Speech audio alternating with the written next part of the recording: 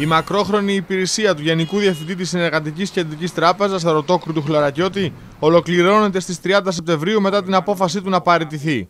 Την απόφαση του Αρωτόκρου του Χλωρακιώτη να αφιπηρετήσει πρόωρα δημοσιοποίησε η Συνεργατική Κεντρική Τράπεζα, η οποία σε ανακοίνωσή της εξηγεί και τους λόγους που τον όθησαν στην έξοδο προτού λήξει το συμβόλαιο εργοδότησής του.